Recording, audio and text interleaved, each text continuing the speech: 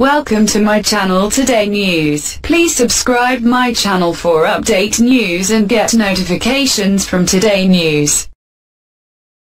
10 Ways North Korean leader Kim Jong-un freaked out the world in 2017.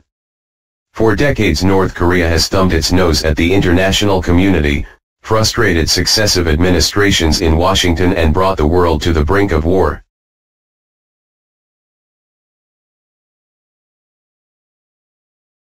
But this year, tensions between President Trump and North Korean leader Kim Jong-un reached new highs.